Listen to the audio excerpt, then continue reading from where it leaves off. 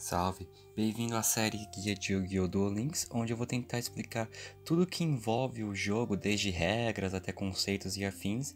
E nesse primeiro episódio aqui a gente vai tratar de tipos de cartas, mais especificamente das cartas monstros. Os monstros são as principais cartas do jogo, são utilizados em batalhas contra outros monstros e também em ataques diretos, além de também terem seus próprios efeitos que podem alterar o decorrer da partida.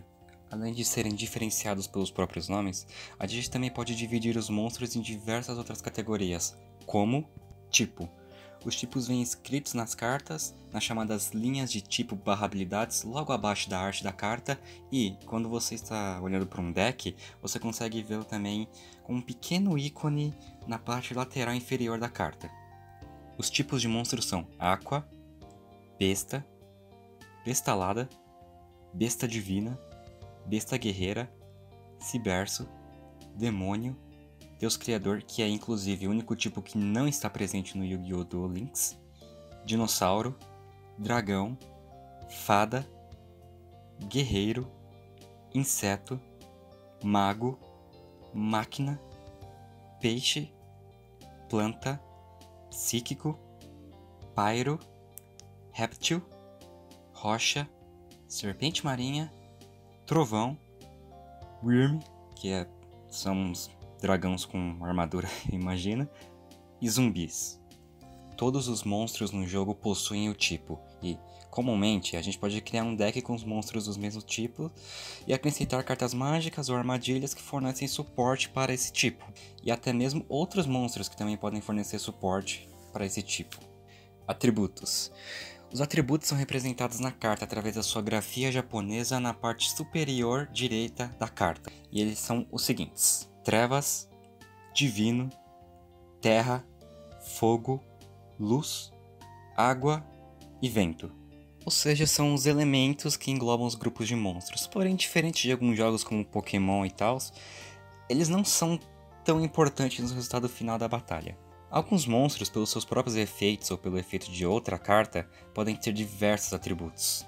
E tal como ocorre com os tipos, atributos também recebem suporte em formas de mágicas, armadilhas e monstros. Existem alguns arquétipos no jogo que possuem um atributo em comum entre todas as suas cartas e vários tipos de monstros, como por exemplo o arquétipo luminoso. E também o caso contrário, em que o arquétipo ele tem vários atributos diferentes, mas apenas um tipo de monstros, como é o caso do arquétipo de pequenas magas. Outra característica essencial nas cartas de monstros são o ataque e a defesa. Ambos estão indicados na parte inferior direita da carta, o ataque representado pela sigla ATK e a defesa representada pela sigla DEF. Nas atuais cartas do jogo, o ataque pode variar de 0 a 5000, porém existem algumas cartas que, por efeitos próprios ou efeitos de outras cartas, podem ultrapassar esse número. Em algumas cartas, o ataque vem definido como um ponto de interrogação ou alguma coisa semelhante. Isso quer dizer que o ataque do monstro aumenta ou diminui em determinada quantidade que é pré-definida por algum tipo de condição pré-estabelecida, geralmente na própria carta. A defesa de um monstro, igual ao ataque, também varia de 0 a 5 mil no jogo. E assim também como o ataque, por efeitos próprios ou de outras cartas, os monstros podem ultrapassar esse número. E a defesa também pode vir com um ponto de interrogação ou alguma coisa assim. O que também aponta né, que a defesa do monstro ela aumenta ou diminui em determinada quantidade através de alguma condição escrita na carta do próprio monstro ou em alguma outra carta. Seguindo, um aspecto muito importante também encontrado nas cartas monstros é um nível, ou level e é representado pelo número de estrelas na parte de cima da carta. Os níveis dos monstros podem variar de 0 e que nesse caso existe alguma condição de nível a 12. E geralmente elas são proporcionadas ao poder de uma carta, o que algumas vezes não é verdade, mas por via de regra vamos tratar assim. Um monstro só pode ter um nível de cada vez, mas através de seus próprios efeitos ou os efeitos de outras cartas é possível alterar o nível de um monstro os níveis enquanto características dos monstros é crucial em diversas situações do jogo, sendo que eles são protagonistas em diversos tipos de invocação, como atributo, ritual, sincro e exceed, que a gente vai ver mais pra frente. É importante ressaltar, porém, que monstros exceed não possuem nível ou level, eles possuem na verdade o chamado rank, ou classe, que é representado também pelo número de estrelas na parte de cima da carta, só que nos monstros Exceed esse número de estrelas está disposto na parte esquerda da carta e não na parte direita. E os ranks no TCG eles vão de 0, o que no caso também indica uma condição de rank, a 12, enquanto no DL Por enquanto, eles vão de 1 a 8. Na imensa maioria das vezes, o rank de um monstro Exceed é o mesmo que o nível dos monstros requeridos para sua invocação. Como esse vídeo foca mais em tipos de monstros e afins, eu vou tratar melhor sobre os outros tipos de invocação em um outro vídeo. Mas, ressaltando de novo, é importante que todos saibam que monstros Exceed possuem um rank e não nível. Ou seja, as cartas supracitadas que alteram o nível ou condições e métodos de invocação que dependam de nível, como Synchro ou Ritual, não funcionam com monstros Exceed. A gente ainda pode dividir as cartas de monstros através da própria descrição da carta, da seguinte maneira. Monstros normais são, de forma bem resumida e bem clara, monstros sem efeito. Elas são sempre amarelas e na linha de tipo está apenas indicado o tipo da carta. No texto logo abaixo da linha de tipo, existe um escrito meio folclórico, descrevendo mais a parte mitológica da carta, sem nenhuma especificação técnica e sem nada que dê valor real ao andamento do jogo. Porém, em algumas cartas a gente também pode reparar em algumas condições de arquétipos, que servem bem simplesmente para inserir essa carta em determinado arquétipo. Monstros normais, por não serem tão poderosos no contexto atual do jogo, possuem extenso suporte em forma de outras cartas monstro, armadilhas e mágicas. Contudo, mesmo com esse extenso suporte, com o passar do tempo esses monstros foram caindo no esquecimento, tanto no TCG quanto no Duel Links, e são poucos os que vêm sucesso competitivo no Duel Links nos dias de hoje, sendo que na verdade ele se mantém no metagame muito graças ao seu suporte. Cabe aqui uma curiosidade, né? Os monstros com mais e menos flavor text, que é esse textinho mitológico né, na carta, estão presentes no DL, que é o caso né, do, do Nobre Cavaleiro Artórigus, que tem um texto mais extenso, e do Mecha Cavaleiro Avran, que tem o texto menos extenso. Não existe, nem no DL e nem no TCG, um monstro normal que ultrapasse o nível 8.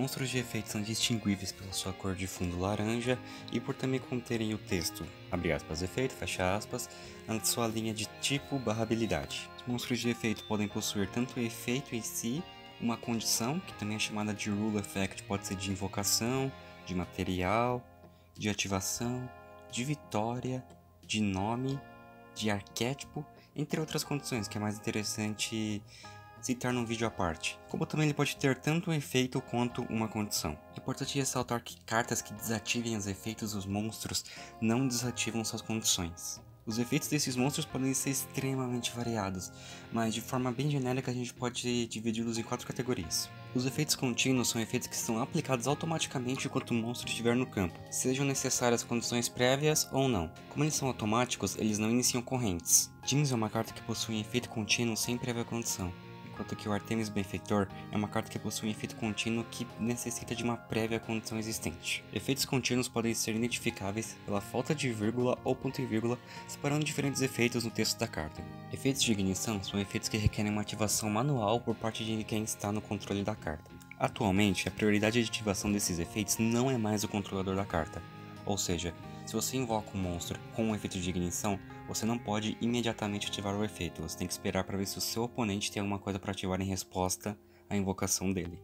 São identificáveis pelas frases uma vez por turno ou durante sua fase principal, seguidas de você pode, mais o custo da ativação do efeito, ponto e vírgula e, finalmente, o efeito em si.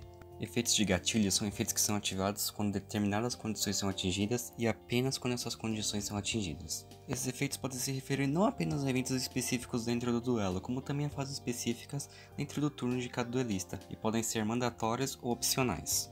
São identificáveis por frases como: durante sua fase de standby, você pode, ou se essa carta for destruída em batalha, você pode. É importante ressaltar que alguns dos efeitos quando opcionais, dependendo de como eles são escritos, eles são passíveis de perder timing.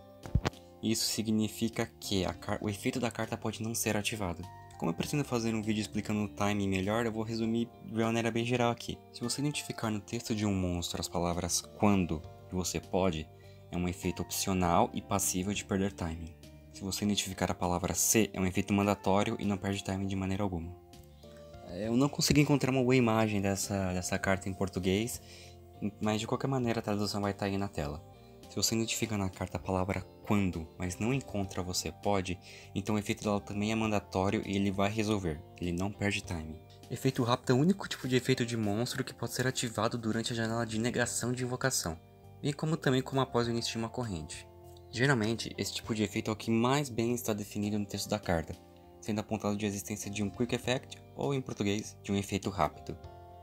Porém, cartas que também contêm o texto durante o turno de qualquer jogador também são um efeito rápido. Esses efeitos também podem ser ativados diversas vezes dentro de uma mesma corrente, a menos que a carta em si estabeleça um limite para isso. Existem ainda uma gama de outros efeitos que não começam a corrente, mas que ao mesmo tempo não são efeitos contínuos, como alguns efeitos de invocação, efeitos que limitam quantos monstros de determinado arquétipo você pode ter no campo ao mesmo tempo, efeitos que limitam quantos monstros com o mesmo nome você pode controlar ao mesmo tempo, entre diversos outros.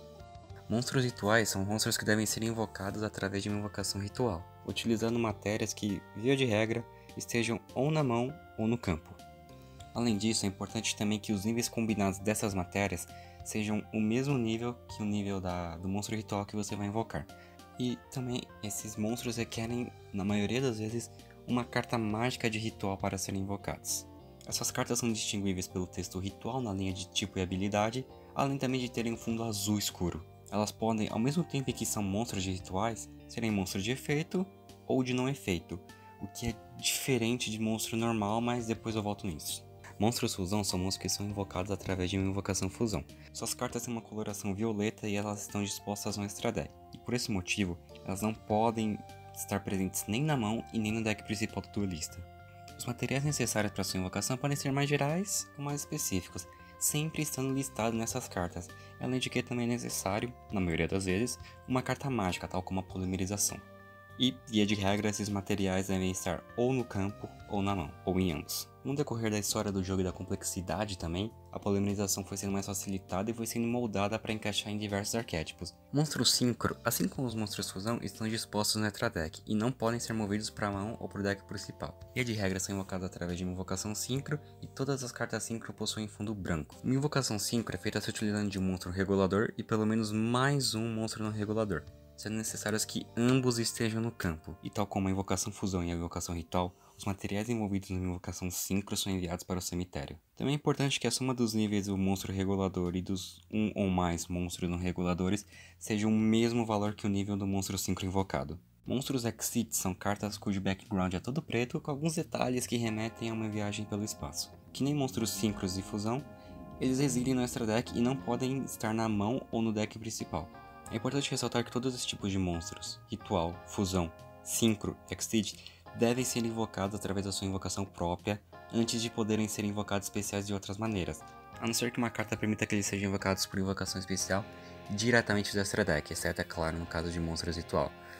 Porém, ainda assim, alguns desses monstros possuem restrições e só podem ser invocados pela sua invocação própria. Como já dito anteriormente, os monstros Exceed não possuem níveis, mas sim ranks ou classes. Porém, seus materiais, sejam dois ou mais, dependendo de como está descrito na, na carta Exceed, devem ter em nível o mesmo número de estrelas do rank do monstro. Ou seja, você tem que usar, por exemplo, dois monstros de nível 4 para invocar um monstro Exceed de rank 4. Tal como a invocação Synchro, os monstros usados numa invocação Exceed devem estar no campo. E diferente da invocação Synchro, uma vez invocado um monstro Exceed, os monstros usados como materiais são colocados debaixo da carta, não sendo mais tratadas como monstros do campo, porém, ao mesmo tempo, elas não contam como se tivessem sido removidas do campo ficando numa espécie de, de limbo. Geralmente, os efeitos dos monstros Exceed, quando possuem efeitos, são de gatilho e ativados através da dissociação de um ou mais de seus materiais, que é quando você envia um desses materiais, uma dessas cartas embaixo desses monstros, para o cemitério. Ainda existem dois outros tipos de monstros no TCG que não estão no Duel Links, que são os monstros Pêndulo e os monstros Link. Porém, como eles não são relevantes para o jogo no momento, eu creio que não faça muito sentido comentar sobre eles agora. A gente pode falar também sobre monstros token, que são também chamados de fichas. São cartas com fundo cinza invocadas a partir do efeito de algum monstro ou de alguma carta mágica ou armadilha, e só podem existir no campo e em mais nenhum outro lugar.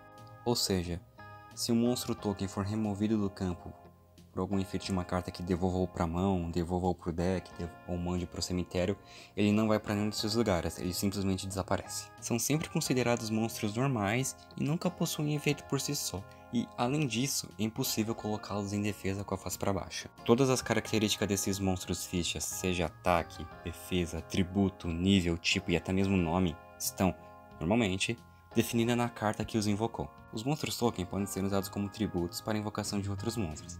Eles podem ser usados para invocações rituais, invocações fusões e invocações síncros, mas nunca para invocações Exceed, que uma vez em que eles iriam se tornar matéria, eles saem do campo, então eles desaparecem. E a invocação não é concluída. Bom, aqui eu vou mostrar como funciona né, os monstros token. Essa carta aqui, essa carta mágica, ela vai invocar no monstro token. Inclusive eu nem sabia que o Maligno tinha uma carta desse tipo. E eu tô aqui setada né, uma armadilha que devolve monstros para a mão. Tanto monstros meu quanto monstros do meu oponente. Como eu, e lembre-se, né, como eu disse, monstros tokens só podem existir no campo. Ativa a armadilha, a mágica. Invoca o token. Bom, a derrota ela pode devolver qualquer monstro do campo para mão, né? Eu vou selecionar o meu monstro token para vocês verem o que acontece. Assim que eu tento devolvê-lo para a mão, ele é destruído. E esse efeito vale caso você tente bani-lo, caso você tente enviá-lo para o cemitério, devolvê-lo para o deck. Tudo isso. Tudo isso engloba o fato de que os monstros token não podem existir fora do campo. Existem algumas outras diferenciações que a gente pode fazer, tal como a separação entre os monstros de efeito, né, que a gente já, citou, e monstros sem efeito. Monstros sem efeito é todo e qualquer monstro que não possui um efeito, não apenas monstros normais, até porque monstros rituais, fusão, sincro e exit sem efeitos não são considerados monstros normais, mas sim monstros sem efeito. Alguns monstros de efeito e necessariamente de efeito possuem as chamadas habilidades, que são listadas nas próprias cartas na linha de tipo e habilidades. Essas habilidades são as seguintes: Monstros espíritos são monstros cuja principal característica é retornar para a mão do dono no turno em que foram invocados por invocação normal ou virados com a face para cima. E, além disso, tirando pouquíssimas exceções, eles não podem ser invocados por invocação especial. Monstros Toons são cartas que se tratam de caricaturas de outros monstros famosos. Eles ficaram famosos ali, né, por serem os monstros do Pegasus no anime. No geral, suas habilidades principais são de atacar o oponente diretamente, não poder atacar no turno em que foram invocados e dependerem de forma relativa da carta mágica Mundo Toon. Eles são divididos em cinco classes, em que os efeitos deles vão variar, mas isso é algo que eu pretendo explicar melhor no outro vídeo. Monstros União são monstros que possuem a habilidade de agirem como magia de equipamento ao serem deslocados para a zona de magias e armadilhas e equiparem um monstro e também possui a habilidade de se desequipar desse monstro e se invocar por invocação especial para a zona de monstros. Porém, eles só podem fazer uma dessas duas coisas, né, se equipar ou se desequipar, uma vez por turno. É importante ressaltar que nem todo monstro que pode agir como magia de equipamento é um monstro união. A habilidade de virar é uma habilidade em monstros cujos efeitos ativam ao serem invocados por invocação virar pelo próprio controlador do monstro, ou ao serem virados de face para baixo para face para cima pelo oponente por batalha ou por efeito de alguma carta. Ou seja, são monstros que possuem um efeito que ativam ao serem virados com a face para cima no campo, sucintamente. É uma mecânica que foi bem popular nos primeiros anos do TCG e até hoje arquétipos inteiros giram em torno dessa mecânica. Porém é importante ressaltar que nem todo monstro cujo efeito ativa nessas condições é um monstro virar, uma vez que essa habilidade também depende do fato de que o efeito, em sua descrição, não possa dar margem para a perda de time, como acontece no exemplo mostrado aí na tela, que é considerado um pseudo flip effect, ou seja, um efeito de pseudo virar. E por fim, gêmeos. Gêmeos são monstros que requerem uma invocação seja normal ou especial, para entrarem no campo em mais uma invocação, dessa vez normal, sem tributo caso seja um monstro com mais de 4 estrelas, ou através de efeitos de cartas de suporte, para se tornarem monstros de efeito e poderem usufruir desses efeitos. Fora do campo, seja na mão ou no deck ou no cemitério, eles são tratados como monstros normais. Bom, aqui para mostrar como funciona uma invocação gêmea, né, uma invocação de monstro gêmeo, eu vou pegar um monstro que precisa de um tributo na sua primeira invocação normal, como o que é o normal, né? É, é que eu tô o que eu tô promovendo aqui é uma invocação comum, um tipo de invocação normal comum. Então eu venho, faço tributo. E como eu só tenho uma invocação por turno, uma invocação normal por turno, eu não consigo fazer a segunda invocação normal, que aí sim é quando ele quando os efeitos dele começam a ser válidos, né? Voltou pro meu turno. I draw. Agora sim, uma segunda invocação normal. Que aí já conta como. Que aí os efeitos gêmeos dele. No caso, uma vez por turno, você pode destruir todos os monstros que eu faço para cima que seu oponente controla. Com defesa menor que o ataque deste card. Aí agora sim esse efeito já está valendo. Ativei. Opa, essa eu não esperava. Por essa eu não esperava, mas tá bom. Mas é basicamente isso. O monstro só pode possuir apenas uma habilidade em sua linha de tipos e habilidades. Existe ainda uma categoria à parte de monstros, que são os monstros reguladores, que podem ser tanto os monstros normais quanto monstros de efeito. Eles são essenciais para uma invocação síncrona, podendo ser artificiais, se tornando regulador através de um efeito, ou eles podem já vir com o próprio termo regulador escrito na carta. Alguns monstros Synchro vão requerer reguladores específicos ou parcialmente específicos. Alguns monstros reguladores só podem ser usados na invocação Synchro de monstros ou arquétipos específicos, ou na invocação de um monstro Synchro de determinado tipo ou determinado atributo.